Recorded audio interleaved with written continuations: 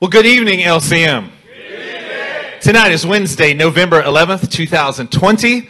We're excited to be here with you tonight. I just got to start off by saying, man, our lives are incredibly good, aren't they? Come on, church. Hasn't the Lord been really, really good to us here? He's speaking to us constantly. He's bringing healing in our bodies. He is flooding our families with babies. With lots and lots of babies. There's no more announcement for that one. I'm just wanted to bring that one up. It's almost like we don't even need to wait till Thanksgiving to be thankful in this house because God is with us. Look, we have such a good life. The truth is, is sometimes we're just looking for things to complain about. I mean, like, your complaints aren't really that much complaints because you just got to find something. You know, like the Chick fil A building that's right there in Mission Bend that, that is no longer. Don't know what we're going to do for lunch anymore. Pastor, the reason I was late because the traffic on Eldridge is horrible. I felt like Jesus was going to make it back before I got to church. your, your cell phone is dead and, and you can't find your extra battery charger that you live in such a, a, a glorious land. When they, when they put milk in your Starbucks drink and you're lactose intolerant, or they, they mess up your name again and again, uh, Adam Cola, Absent Stroller, I mean, Abimbola. the, the truth is, abs and stroller. That's, a good one. Everybody's like, oh, that's really true. Babies okay. on babies on babies. The truth is, is it becomes very easy to complain about the most ridiculous things around us. Yep. So ridiculous that there's a couple of phrases that are used for this. It's called first world problems. Like, in other words, they're not really problems at all. Or another one, which actually leads us to the title of our sermon tonight, is um, hashtag the struggle is real. The struggle is real. See, it's so used that in our society, the phrase the struggle is real has become a humorous way to describe problems that the truth is, is they're not really problems, are they? As a matter of fact, we have some definitions that we want to show you. This is uh, our infamous almighty Google. It says to make forceful or violent efforts to get free of restraint or constriction. That's like the 2011 version of Google. We're riding the struggle bus trying to get out of it, trying to get away from it. That's what our, our generation defines the struggle as trying to get away from something, trying to escape out of something that is difficult. Now, see, some of you young whippersnappers wouldn't know this, but we actually we have another definition that we want to show you. See, this one is talking about getting away from something. It's talking about something that's causing restraint. That struggle is only used in a negative connotation, some type of constriction or confinement that you got to get out of, you got to run away from. Let me show you this one from the 1928 Webster's Dictionary. Got to take it back old school. I mean, we're talking like almost 200 years ago, but here we go. To properly, properly, to strive or to make efforts with the twisting or with contortions of the body. In other words, it's something that your entire life, your entire body has to engage with these struggles. Number two, to use great efforts. Somebody say great efforts. Great efforts. To struggle is to use great efforts, to label, labor hard, to strive, to contend as to struggle to save life. Come on now. This is just in the dictionary of 1828 to struggle as to save life, to struggle with waves, to struggle against the stream, to struggle with adversity. There's something about being able to struggle that causes you and it makes you to be able to overcome. It actually brings about life. This is just Webster's dictionary. To labor in pain or in anguish, to be in agony, to labor in any kind of difficulty or distress. Church, we want you to understand tonight, we're not talking about the kind of we're not talking about the kind of struggle that you need to run away from. We're not kind of, we're not talking about the kind of struggle that you've created by your own sinfulness, by your own silliness, by your own selfly desires. That's not what we're talking about. We're talking about a struggle that is important because it is going to save lives in this house. Can somebody say amen? amen? We're going to talk to you tonight about the struggle that is real. The actual real struggle that is needed. So turn with us to Deuteronomy chapter 4 so we can understand the kind of struggle that we need to be looking at tonight. Say the struggle is real when you get there. Come on. That sounds like a struggle I need, Pastor. Deuteronomy 4:20. But as for you, the Lord took you and brought you out of the iron smelting furnace out of Egypt to be the people of his inheritance, as you now are. Wow. Moses was speaking to Israel here. We are speaking to you tonight. The Lord, in fact, took them out of the iron smelting furnace. Sounds like a place of struggle to me. They were there with the great efforts and hard labor for a reason. It had a purpose. Our struggles have a purpose. The struggle was making them into something. It wasn't harming them. It wasn't disadvantaging them. The struggles were making them into something. Yep. Same for us in this place. Transforming them to be the people of his inheritance. That's one of our gates, as you now are. Out of all times, it should seem that the struggle should be over, right? Like we just came out of 400 plus years of slavery. Uh, a Pharaoh who was cruel. 400 plus years. Our troubles are done. We, we out of Egypt. We are free, right? To do exactly what we want to do and call it God. No. But, but this echoes our hearts.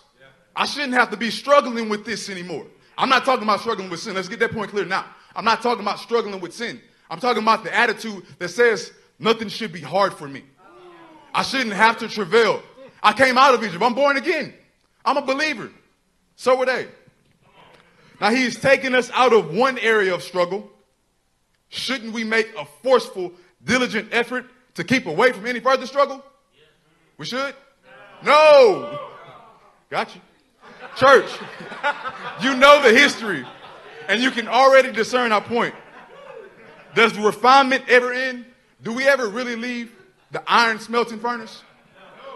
We leave the, the furnace of judgment, but we never leave the refinement that God has for us. And that's what makes us his own. That's what makes us into the people of God and keeps us the people of God. Why? Because the struggle is real. Come on, church. The idea here in this passage, you see that they were brought out of the iron smelting furnace. Man, that's, that could sound like some of our days that we're in now, isn't it? Some, some furnaces that are smelting us, that are working things into us. Why? To be the people of his inheritance as you now are. Come on, that struggle that was there is for your good. This has been the way that it's always been. Turn with me to Genesis chapter 32. Say the struggle is real when you get there.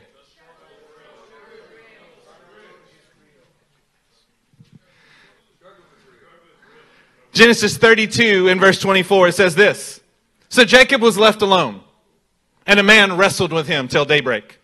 When the man saw that he could not overpower him, he touched the socket of Jacob's hip so that his hip was wrenched.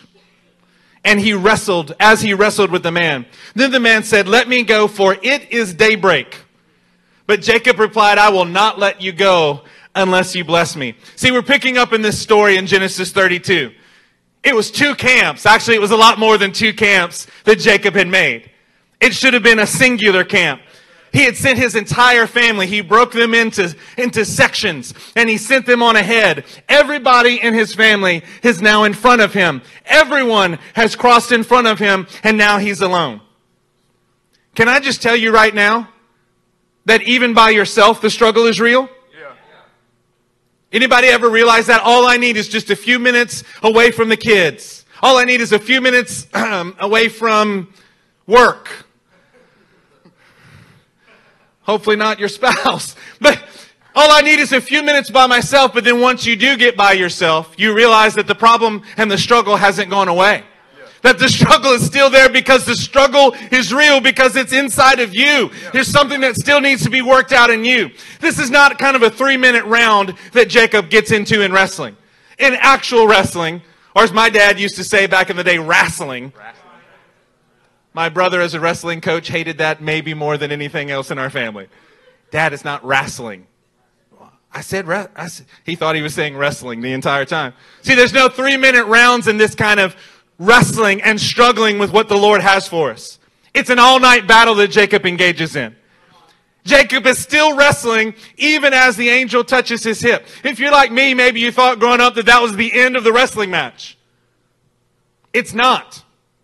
He's wrestling. He gets, he gets him, the, the angel that touches him in his hip. His hip is wrenched. And then the angel says, yeah, it's time, it's daybreak.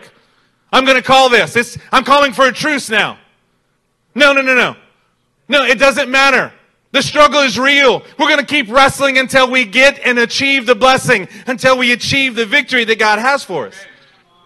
Now, you guys know this passage. You guys understand this concept. For goodness sake, you're LCM. You're not looking, you don't think that you're looking to get around the struggle. But I can tell you that we are all looking to call a truce with the wrestling that we have right before us. What does this look like in our lives? What about when God speaks to you? Are you measuring the response? Are you calculating the potential problems? Are you coming up with probable failures even as he has spoken to you? See, those things are actually the parts of you that are stepping away from the struggle instead of stepping into it. You've got to wrestle with the things that God has spoken. You've got to trust in the Lord and not lean upon your own understanding. You've got to go after this in a way that Jacob understood. In a way that Jacob said, I'm not going to leave this place. It doesn't matter that I'm injured. It doesn't matter that we've been wrestling all night. I don't know if you've ever wrestled before. I don't know if you've ever just been horsing around with a friend. If you wrestle for more than two or three minutes, you're sweating, you're breathing heavy. This is a difficult, difficult task that's before you. Some of the young guys in the room are like, no, that's true. That's true. If you're like the four young men who are now grown men and mighty, mighty, godly men, but when they were teenagers and lived in our house, in a single room, it was not unusual to have many, many broken things broken couches, broken dishes, broken tables. Yes, because they were wrestling all the time. And it always ended up with sweaty, smelly nastiness. We have to have an attitude that says we're going to wrestle until we get to a place of victory, until we get to a place of anointing, until we get to a place of, of blessing that God has for us. Church, I want us to grab this tonight. I want us to wrestle with this. I want us to struggle with this and get something good. That we can't just think we're engaging in wrestling and really be playing pity pat with each other. We've got to actually get in and struggle with what God has for us. Let's, let's take a look at another passage that'll help us understand this. Turn to Hosea 12. Hosea 12, 2. What we're fighting for tonight, and what our brothers have been fighting for on Monday nights, is for the heart to complete a task, for the heart to carry something through to completion. And God has given us many tasks. He's given me many tasks. And what we're fighting for, what we're trying to cultivate, is a heart that carries it through to completion, all the way. Not settling for anything because God doesn't settle. Hosea 12, 2. You there? That's right. The Lord has a charge to bring against Judah. He will punish Jacob according to his ways and repay him according to his deeds. In the womb, he grasped his brother's heel. As a man, he struggled with God. He struggled with the angel and overcame him. Wait, I thought he struggled with a man in, Gen- in uh, Genesis 32. He wept and begged for his favor. Sounds like a little desperation. He found him at Bethel and talked with him there. The Lord, the, the Lord God Almighty, the Lord is his name. But you must return to your God, maintain love and justice, and wait for your God always. Jacob's whole life was about the struggle. From the womb, as a man, Ange- angelic beings, struggling for the favor of God. When I heard the summary of, of Jacob, as Pastor shared it with me, I thought about my fathers in this church. We're not unaccustomed to men who know how to struggle. We're not unaccustomed with men who know how to put their heads down and in the midst of difficulty all over, do exactly what the Lord told him to do, the way He told him to do it. We're not unaccustomed with men who dug this church out of the ground to create something that is useful for the king and now is sending us to go get the nations. Amen. We're not unaccustomed to looking at that. I myself has, have been around men with, with a raging fire and, and found myself warmed by their fire. But that's not good enough. Not anymore. You see here that although Jacob was used to the struggle, Jacob was used to scratching something out of the earth. Something didn't pass to his generations. God is bringing a charge not to Jacob the man, but Jacob the people. And this is us. We, we lack, like Pastor, Pastor uh, Matt gave us an excellent word about sending reinforcement Sunday. We don't lack direction in this church. I'm not talking about daily bread, which you, which you'd be getting out the word every day, but we don't lack direction for our lives. God has spoken to us abundantly and continues to do so. So we don't lack in that. I, you, y'all been to my bachelor party. I don't lack in direction for my life. What I'm trying to work out, what we are working out is how to put faith to what God has said, to carry it through, to learn how to struggle. That is what this body needs to mature. Hey, before Justin keeps going, does, can anybody relate to the fact that you've gotten plenty of words here? You've got plenty of direction? You've got plenty of understanding of, of what you must be doing and what you must be aiming for. What we're talking about tonight is that you get in there and you struggle and have the fire inside of you. Hosea is talking about and is using the man Jacob in his life. That from before he was born, as a baby, you see him grasping at his brother's heel. He started off in struggle, but that struggle continued on as a man. It continued on whether it was with angelic beings or not. And what happened is, is it didn't get to the rest of the people. And now they're using Jacob as not only the man, but they're talking about the people. Yeah. We're not talking about a single man in this room understanding that the struggle is real. We're talking about the people, the collective that has to understand that this struggle is something that is good for us. It's something that's needed. And look at what he says in verse 6. But you must return to your God, maintain love and justice, and wait for your God always. You must return to the right struggle the way our fathers have. The struggle that welcomes adversity because you know what it's going to produce. Not the struggle that seeks to shrink back from, from a little bit of difficulty, a little bit of, a bit of heartache in the area. Having to face the reality that this area in, in our lives, this area in your life is not where it should be. There's a struggle that God is giving you to make you into the people of God. As a matter of fact, as a matter of fact, we must grow up and look forward to this struggle. We must grow up and look forward to the, the straining that it requires. Because God isn't disqualifying me in that struggle. He's actually qualifying me.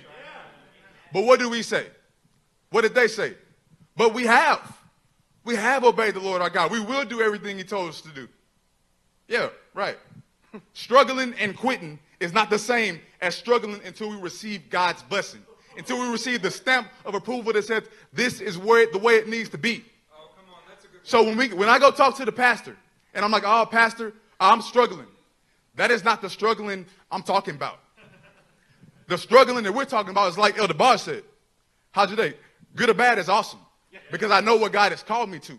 This, oh man, I'm, I'm, I'm struggling is more so a, a way for your flesh to escape.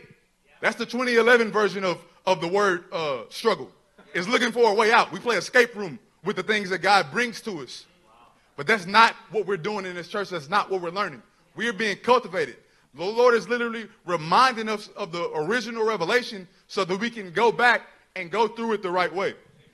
Has anybody had any struggles this week? Any difficulties, uh, say, with your kids? Yeah. Any, any difficulties on the workplace? Yeah. A, any difficulties internally just to keep your heart right? Me? Yeah, Tracer's fine. He's, he's godly. He has no struggles, right? I want to talk to you for just a second, though, about the kind of struggling that you're doing to combat that. I have a, uh, a brother, a younger brother. I love my younger brother very much. He's, he's kind of like a Cody size individual. That's my little brother growing up, we would go out in the backyard and we'd have fun.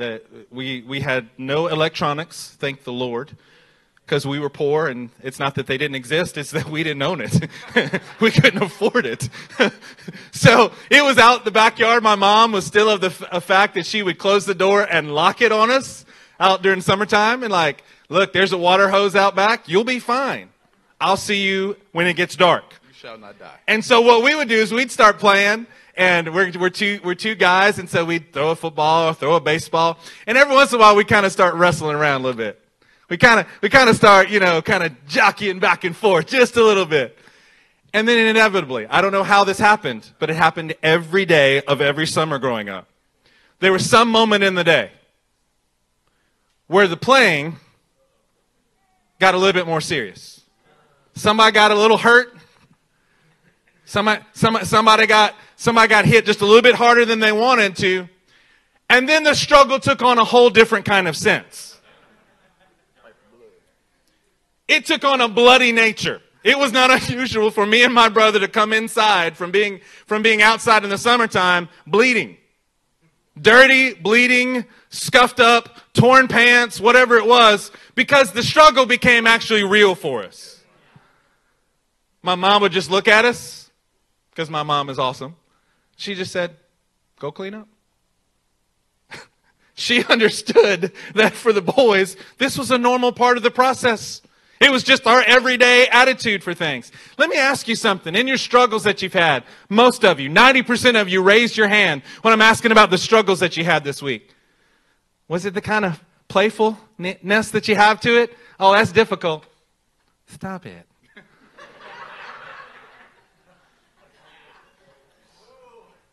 Or have you been in bloody conflict with the enemy? Aren't both struggling? Yes. But one has got an intensity that is actually going to save life. It's going to bring about life. When you have to engage with your kids, when you have to engage with your spouse to bring about shalom, are you just kind of, yes, I've gone about it. I spanked my baby. Or are you understanding that there's a life and death in the struggle that we have to engage in? That your shalom in between you husbands and wife, this is a life or death situation. That your shalom with your kids, if you can't get them under control now, what's going to happen later on? You got to get after them. How are we going to reach the generations? How are we going to reach the nations? You got to be able to do in your home what you're going to replicate everywhere else. We got to get serious about it. Why? Because there is a struggle that is here that we have to engage in. But my goodness, this struggle is a good thing for us. It's actually producing something in us and it allows God to produce something through us. And when you shrink back from the struggle, because it's just too tiring. It's just too difficult. It just requires too much of you. There's just too much fear involved. Then you are missing what the struggle brings to you. Let's turn to Ecclesiastes chapter 5 as a church. Ecclesiastes chapter 5. Somebody say the struggle is real when you get there.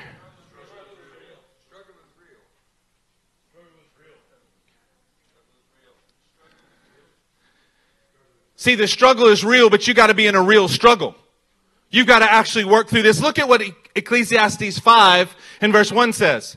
Guard your steps when you go to the house of God.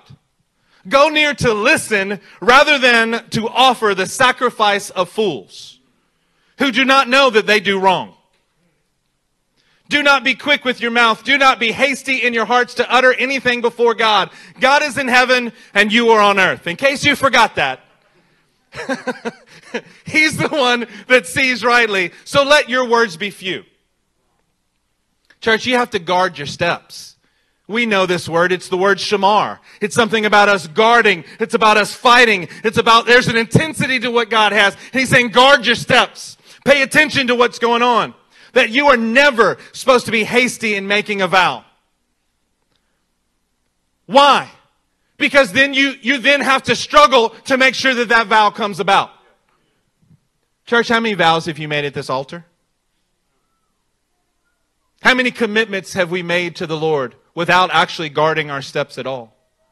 How many times have we said, Lord, I will do this, or Lord, I will never do that again? And we've made vows and then had no intention of actually guarding that, of actually getting into the struggle and saying, I've made the vow, now I must keep it. Now I must finish what I've started. Yeah, church, the struggle is real in fulfilling your vows. That's why it says don't be hasty about making a vow. You are supposed to take your time on the front end of this. Why? Because when you make it, you're not supposed to break it. Think about your vows. Think about the things that you've said to a spouse that you would or would not do. Think about the commitments that you've made to an elder. Think about the commitments that you've made to a brother. Think about what you said and what you've done and how quickly you entered into something with no real concern about whether you were going to struggle until it's done. Do not be quick with your mouth. Look at verse 3. A dream comes when there are many cares. Every dream I have is from the Lord. No, it's not. It's not true. Dreams come when you have many cares. And many words mark the speech of a fool. When you make a vow to God, do not delay to fulfill it. He has no pleasure in fools. Fulfill your vow. What is it making an unequivocal connection to? When you make vow- vows and don't fulfill them, then you're acting foolishly. You have the sacrifice of fools that's upon you. It's better to not make a vow than to make one and not fulfill it. See, you're never supposed to be hasty in making a vow, but once you've made the vow, you are never supposed to delay in fulfilling it. You're supposed to immediately get after the work. You can't be hasty commit to, to commit to something that God has not said. A mission plan, your own plan, your own agenda. But you definitely can't be slow in fulfilling it once the Lord has spoken. How is it that we get this backwards? In our society, we're quick to make the vow. I promise, I'll do that. No problem. Yeah, I got you. We're so quick to make it, but then we're slow in fulfilling it. We've got that exactly backwards. You were supposed to be slow. I mean, really slow in making sure that what you're saying, because you know that you're about to engage in a struggle. If I make this commitment, then I must fulfill it. I must continue on. I must be successful at it, no matter the cost, no matter the length of time, no matter the difficulty. I must do this. See, it's because we don't understand that the struggle is real. We don't understand this part, and so we do it exactly the opposite, where we're hasty to make the commitment, and then we think we have an infinite amount of time to actually try to begin to fulfill what we have said. See, that's not really struggling. No. That's not struggling at all. That's something else while we're saying, yeah, the struggle's real. How easy is it for you to forget what God has said to you? How, how easily do you set that aside? How easily do you set aside what you have promised here at an altar? We vowed our lives. People in this room have vowed their children. And yet, we, when we don't see the fruit that we're expecting on by day three, we've moved on to something else. All the while agreeing and nodding and, and, and applauding Justin as he's saying the struggle is real. I want us to get an intensity in our fight today. I want you to get an intensity back in your soul that you stir something up on the inside of you. That says, in what I'm doing and what I'm saying, I've got to get about this struggle because it's not just me playing pity pat with somebody. It's me actually getting involved that builds the strength that I need. Man, when you actually begin to wrestle with someone else, when you, when you lock shoulders, when you lock hands with somebody and there's a tension that's there, it takes everything that you have. It begins to wear you out in a new kind of way. But what it also does is build strength in a new kind of way. To not fulfill your vows is to offer the sacrifice of fools. But that's not what we're raising here at LCM. We're raising men and women who understand this principle. You got to struggle with all that's within you, church. if you actually thought that when you said something, you would never be allowed to not do that thing, doesn't that make you want to really, really pay attention to what you're committing to? Yes. Hey, I'm going to be there. Uh, uh, Judah, I'm going to be there. I'll be there in an hour. Okay, well, when I said an hour, what I really meant was 10 days later. See, it's better for you not to make a vow, not to make a commitment, not to say something. But we're not just talking about showing up and meeting Judah somewhere. We're talking about gaining what the Lord has gotten and what He's prescribed for us. What He told us that He will do in our midst. About our children, about our call, about our mission. The Lord is doing something in our midst. Let's turn to Luke chapter 13. Let's talk about how the struggle is real. Say the struggle is real when you're there.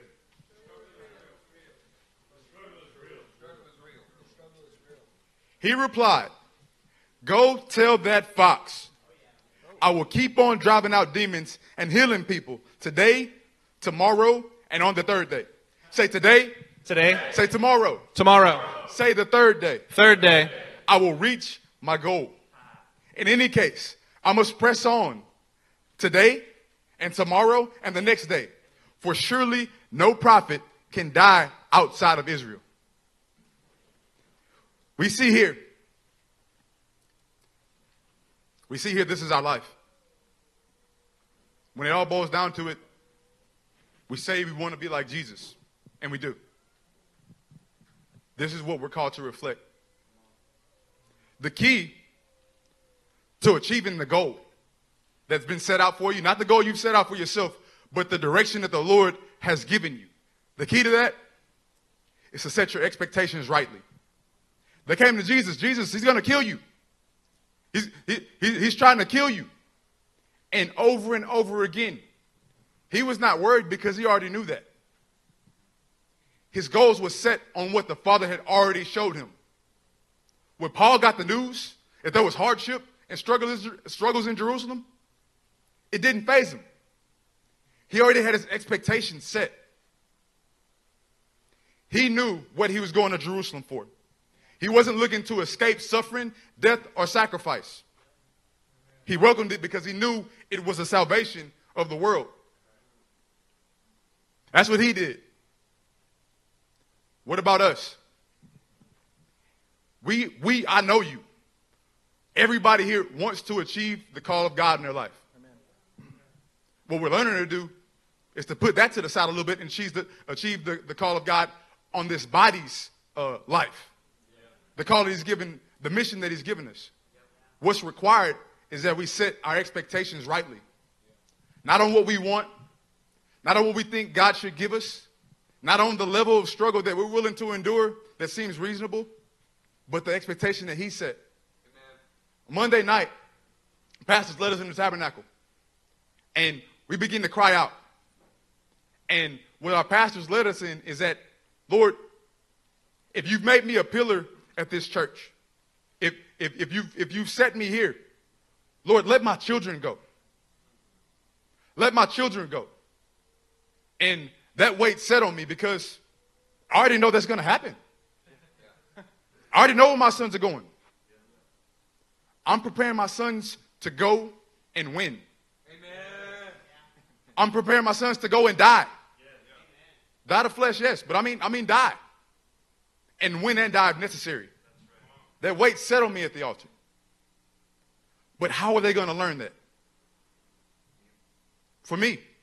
And they're not going to learn it from me just talking about it. They're not going to learn it from me complaining. They will have to see the willingness to die, both figuratively and literally, in my life for them to be ready to go and do what God has told them to do. That is what, that is not some uh, set apart calling for, for one person or two people. We are all called to live that way. Amen. This is how we overcome this attitude. I set my expectations rightly on what God sets my expectations on. I don't, I'm not, I'm not an island unto myself. I don't belong to myself anymore. I died. He now lives in me. My expectations are set. This is how we overcome. We set our expectation on straining, on struggling, and sacrificing to attain his promise. Yeah.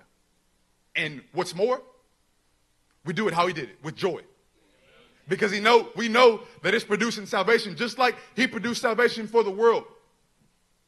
His physical work on this earth is done. It's us now. He set you here to go and, and, and carry out his mission. The work falls to us. We got to teach our sons to overcome, our children to overcome, our wives to overcome. They're going to get it from us. Come on, church. Man, I love what Justin just said. I love, under the unction of the Holy Spirit, what this man is teaching to, teaching to you tonight, speaking to you, sharing with you. You realize that he doesn't yet have sons, right? He's not using a figurative term here. Lord has spoken to him that he will have sons, and he knows where he wants to send them. Come on, that's talking about a struggle that we need to engage with. That's talking about something that's more than just you. That's talking about you having to get the struggle down right in you so that you can bring it to your wife, so that you can bring it to your kids, so that you can keep this going forward the way it should. Matter of fact, let's turn to Hebrews chapter 12. Hebrews chapter 12, let's look at verse 4. Say the struggle is real when you get there. Come on.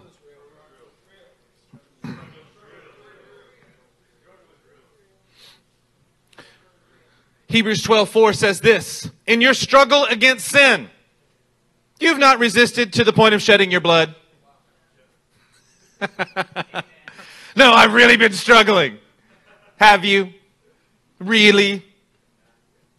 What's the sign that you've, that you've really been struggling? See, in this passage, the word of God is so awesome. It's just like, yeah, you need to quit thinking that you're fighting harder than you are. If you're trying at all, we're like, yes, I'm trying with all my might. Really? See, this is passage is showing us that there's a way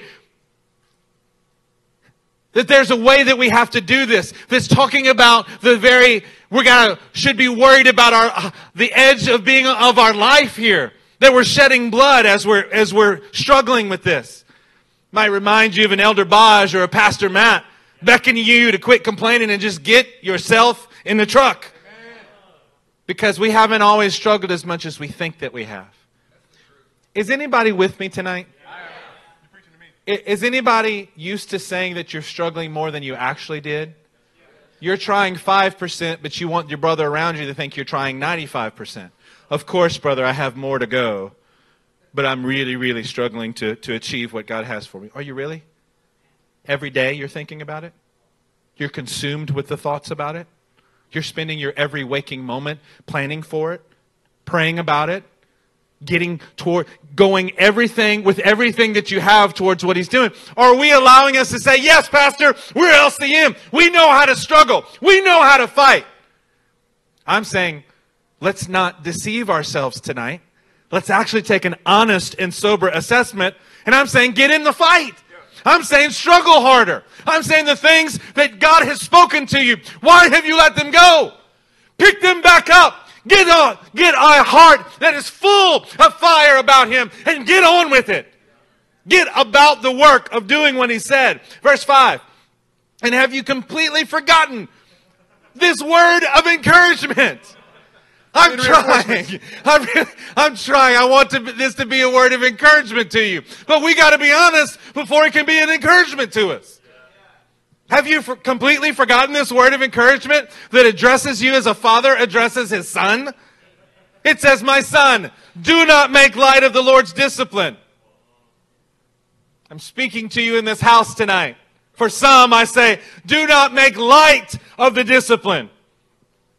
And do not lose heart. You've got to understand both of these when he rebukes you. Because the Lord disciplines, oh, there it is. He disciplines the ones that he loves. He allows you to stay in a struggle because it's good for you. The worst thing for us is to get along and just go along. The worst thing for you and I to have, I, I got to be honest with you, I am a terrible human being when I don't have a lot of pressure on me. I get lazy. I don't read the word like I should. I don't really pray like I should. Just relax. No, I can't because if I do, I turn into a really, really, really bad person. It's true. We're la- we're la- I hope you're laughing because you resemble that remark. I am a terrible human being the easier that things are on me. The struggle is so good. It's almost like the Lord loves me and He knows exactly what I need. It's almost like He has things that, that, that like when He put Adam in the garden, the ground was cursed, the thorns and the thistles were there for His sake, for His good, that He needed the difficulty. Come on, church. The right kind of struggle causes you not to forget what the Lord has said. When you were crying out to the Lord and you were in some difficult spot and He spoke something to you, it never cha- it never leaves you. Do you know why some of these placards are here? Because it was what the Lord spoke to us as a church when we needed it. Yes. We were desperate. Lord, we're all by ourselves. What's going on? He said, you work on one life at a time. We're going to change one life at a time. Okay. Then you move forward and you never forget it. Lord, I'm always worried about where you've put me. Am I missing something? He said, My boundary lines for you have fallen in pleasant places. It never left my soul. Not for one day. How easily are you and I forgetting, though, what he's speaking to us? Maybe we need to get in the struggle more and we'd actually remember what he's saying. Come on, we don't need to make light and we don't need to lose heart. We need to keep and stay in the fight because that's what he does for those that he loves. The struggle is real, it refines every area of your life.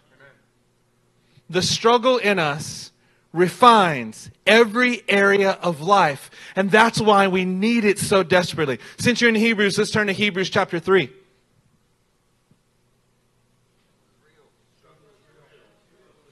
See to it, brothers.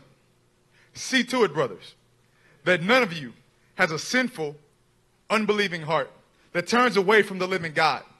But encourage one another daily, as long as it is called today, so that none of you may be hardened by sin's deceitfulness.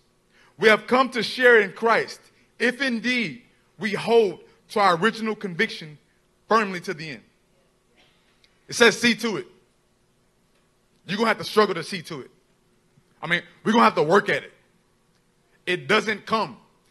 If, you want somebody to prove to you that it doesn't come just by doing nothing, come talk to me. it doesn't come if I don't work at it. An unbelieving heart. Now, this isn't the heart of an unbeliever. This is to us. Wow. The struggle has been too much. What did, what did Pastor Matt uh, tell us Sunday? It's too much. I can't carry the weight. But I'm not built for this. The thing that you made me for, I'm not built for it. These things are trying to steal the right struggle in us.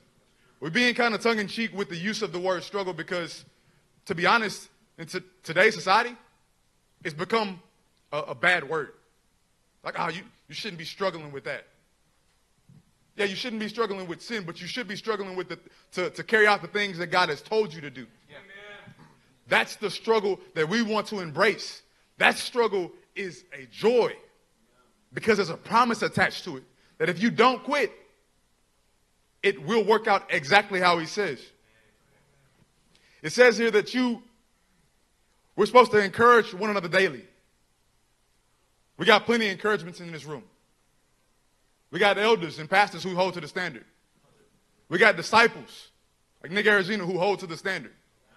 We got men like Adam Cora who holds to the standard to leave what is behind and strain towards what is ahead when the Lord calls.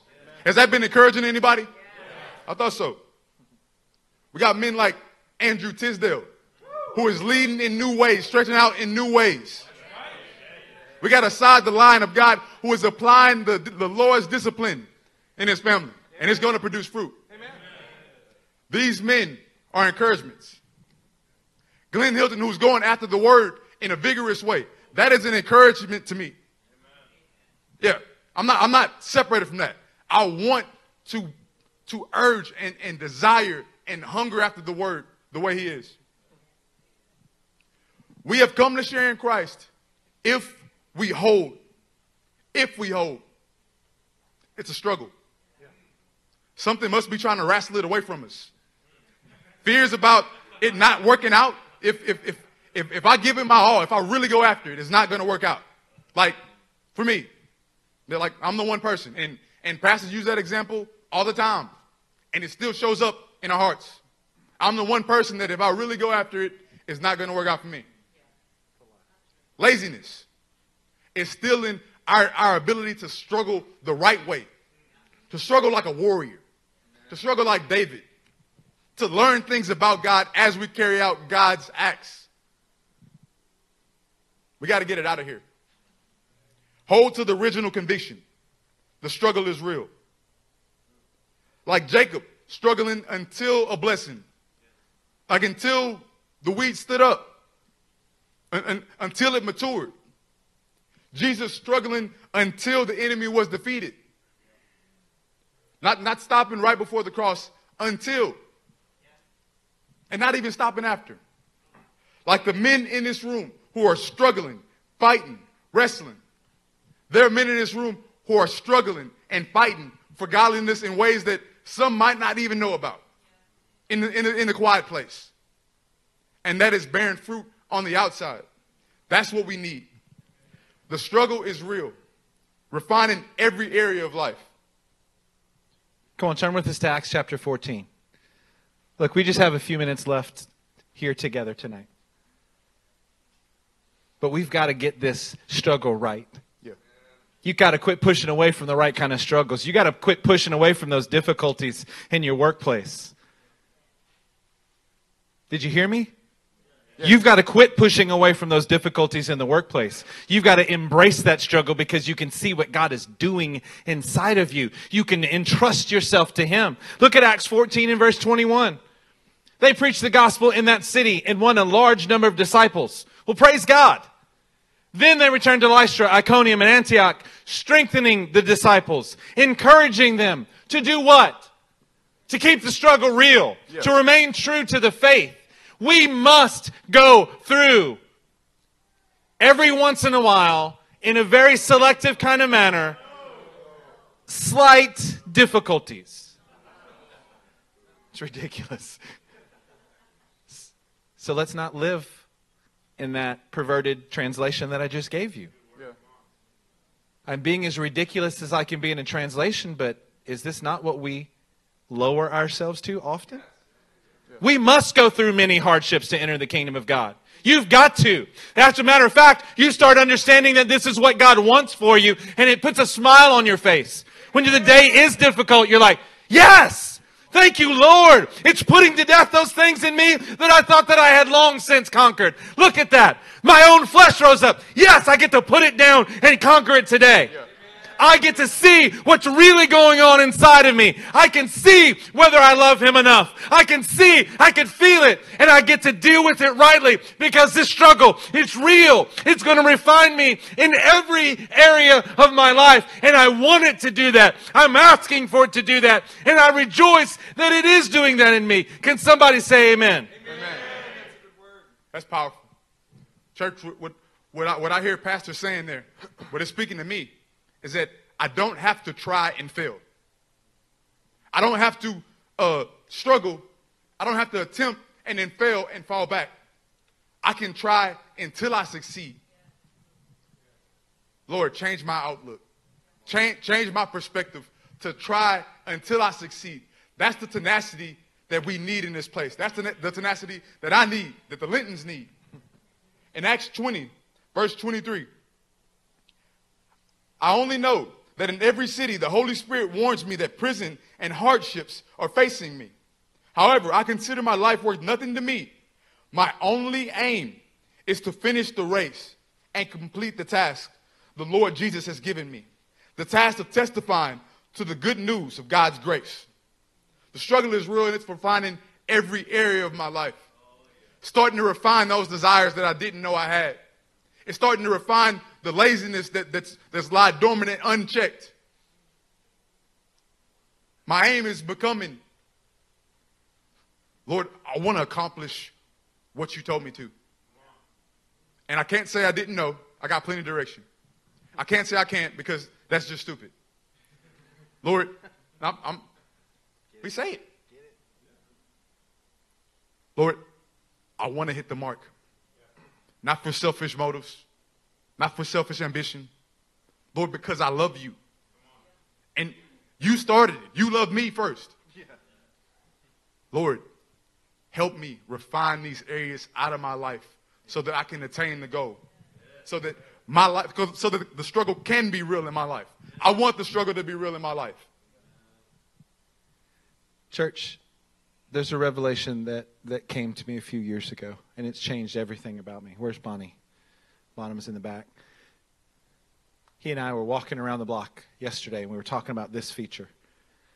Do you understand that as long as you just don't give up, as long as you stay engaged in the struggle, He will make you be what you're supposed to be?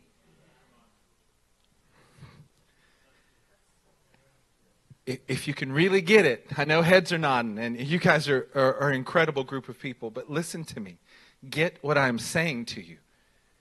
If you learn how to engage in the struggle and just don't give up, You just don't stop. He is going to make you into what you are supposed to be. You will fulfill every good purpose that He has intended for you if you just don't give up.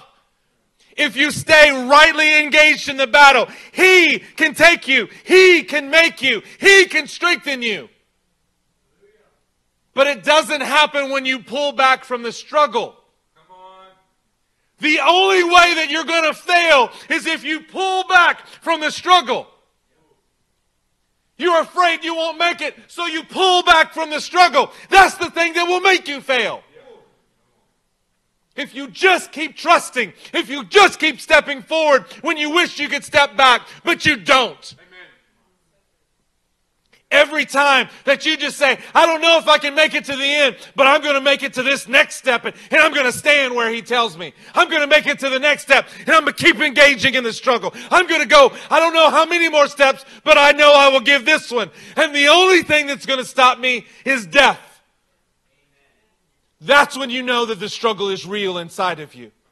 That's the tenacity that we need. I'm looking at men and women in this room and what I can feel in my heart is some of you have already started to say the struggle isn't worth it. It's too much for me to do. The only way you can lose for a real, actual believer is for you to just stop struggling. If you just keep fighting he will make you what you're supposed to be. He will empower you at every turn.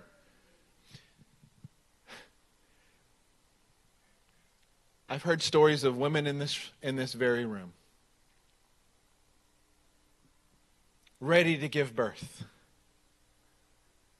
There at the precipice of new life coming forth.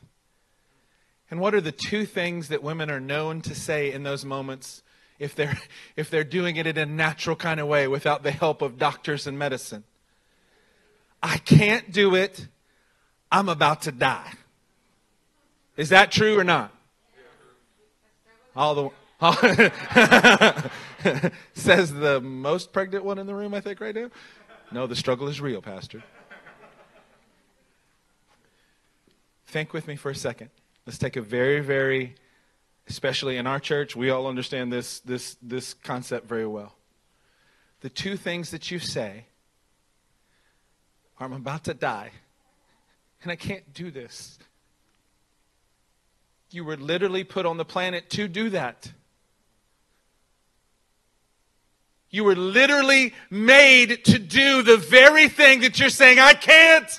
I'm going to die. I'm pretty sure it's going to cost me everything on the verge of actual life coming forth from you.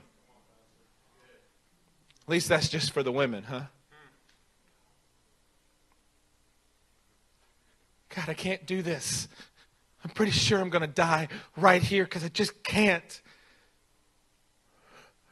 You're literally made to do it. You're literally made for the fight. You're literally made for the struggle. We are building something special in this place. It's not whether you choose to have an epidural for your pregnancy or not. It's whether you choose to stay involved in the struggle. In First Chronicles, I'm just going to say it and then we'll move on to the next scripture. First Chronicles 12 and verse 21 says they helped David against raiding bands, for all of them were brave warriors. All of them. Somebody say all of them. Uh huh. They were all brave warriors. They were all commanders in his army. Next verse. Day after day, men came to help David. They just stayed in the battle. They just came back day after day. I'm not asking you to be a hero for the rest of your life. I'm asking you to stand up and struggle today. And then you go to bed and you let the Lord reset everything in your life and you get up and you do it again. I'm asking you to do this one day at a time, day after day. But what did they come and do? Until they had a great army. Why are we talking to you about struggle tonight? We could have just left it in the bulletin and you would have said, yes, yes, we should struggle rightly. Amen. Let's move on. It's because we heard from the Lord in prayer about what we should speak to you. And we said, Lord, you're building a great army in this house. You're building, it's not just a great army, because that might mean a lot of things to a lot of different people. Look at the last phrase in the verse like the army of God. Come on, Ray. Come on, Chris. Come on, Cho. We're building an army here, and this is the tenacity that is required of every man, of every woman in this house. Your bravest response should not be when you gave birth. That has a finite amount of time that you have to deal with that. Our men and our women here in this house are becoming a great army, and it's because we understand that the struggle is in fact real, and it's supposed to be refining every area of our life. Let's turn to Psalm 119.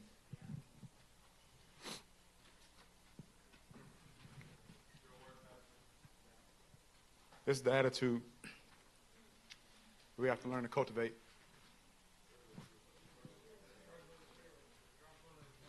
One nineteen sixty seven. We got to be able to settle this in our hearts and tell the Lord this. Believe it, and then do with it what He wants it to accomplish. Before I was afflicted, I went astray. Nobody in here is going to tell me that's not true, so I won't even ask. This part, though, is where we got to get to. But now I obey your word. Lord, let the struggle, because I'm not trying to dodge it anymore. Let the struggle, because I'm not trying to make excuse about anything anymore.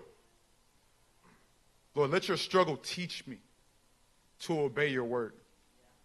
In verse 71, it says, This is the attitude we had to take on.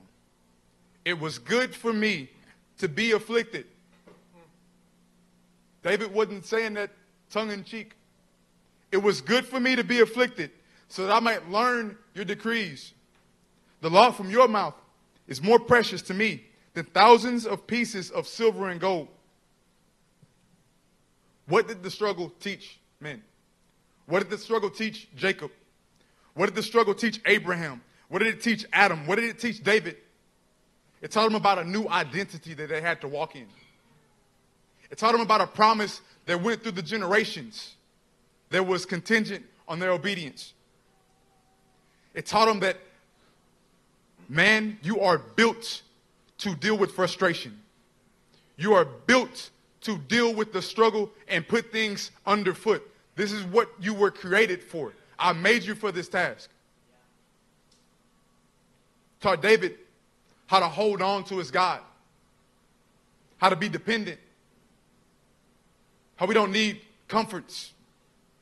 We don't need the things that we think we need. God knows what we need. And He's providing the opportunities for our struggle. We want to see it the right way. For our last scripture of the evening, let's turn to Hebrews chapter 5. Hebrews chapter 5, and we're going to start in verse 7.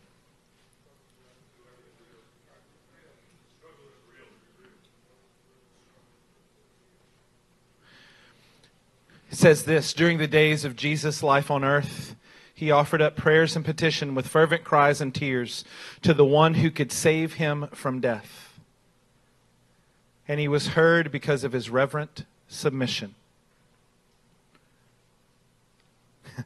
How do you think that you and I are going to be heard? Through the exact same way that he was heard. I want you to take a look at verse 8. This is an amazing way to say this. Son though he was, son though he was, he learned obedience from what he suffered.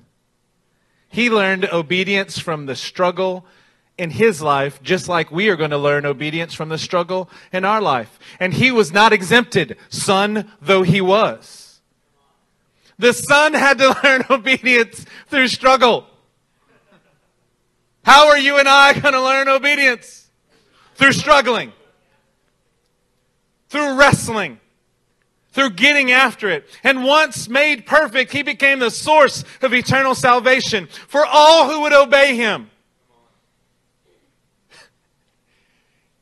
His struggle and obedience through it allowed him to be the source of eternal salvation for all who would walk in the same way that he does. Understanding that the struggle is real. And he was designated by God to be the high priest in the order of Melchizedek. Church, no matter how many scriptures that we bring to you tonight,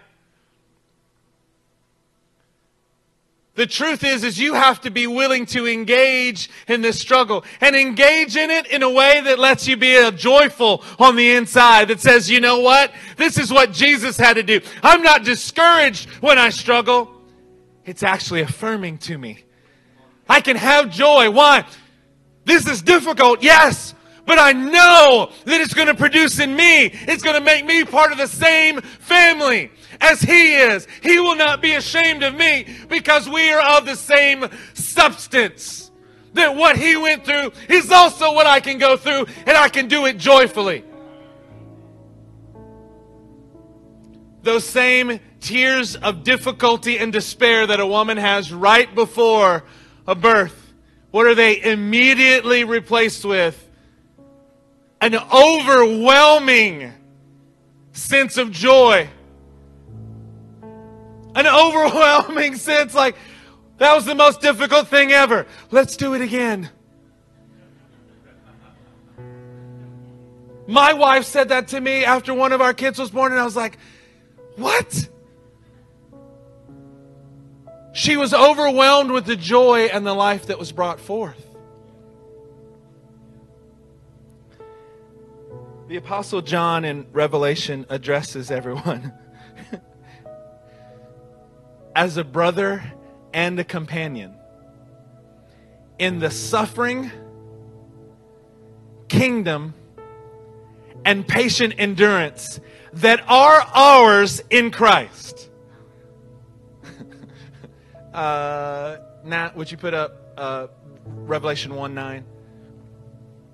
I, John, your brother and companion, in the suffering and the kingdom and the patient endurance that are ours in Jesus Christ.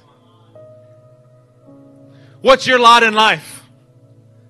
What have you been given? I know what I've been given. I've been given the chance to suffer and the kingdom and the patient endurance that is needed to actually go forth with this. I'm going to ask everyone in the room to stand with me right now.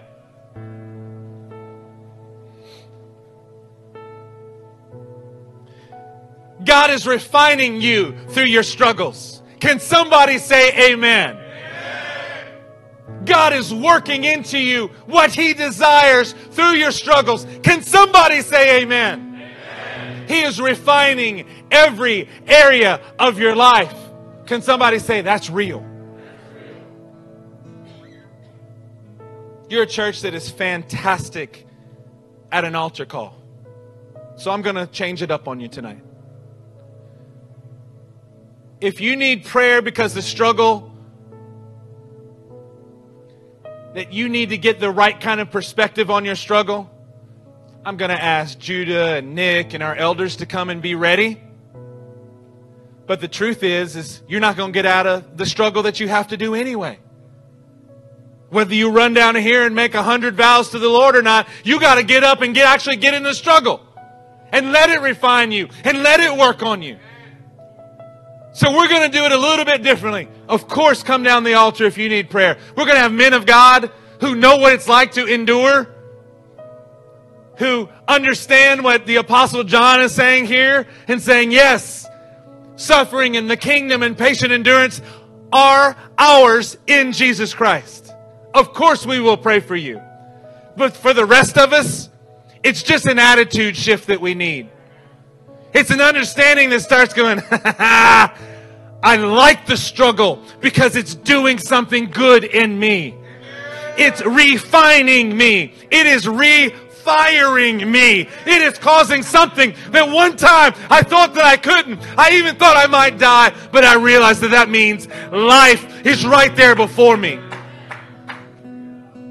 Raise your hands up to the Lord now. Mighty God, help us now. Help us now, Lord, that we know that we like the suffering, that we want it, Lord, that we're ready for it because we know that it is refining every area of our life. Mighty God, let this be a church that doesn't just say it, that doesn't have a few special forces, but that the entirety of this group is an army, like the very army of God. Lord, resilient, pressing forward, not letting go, not if it takes us all night or all week or all year. God, that we will fight for you, that we will struggle because it is going to produce your character in us. Move in our hearts tonight.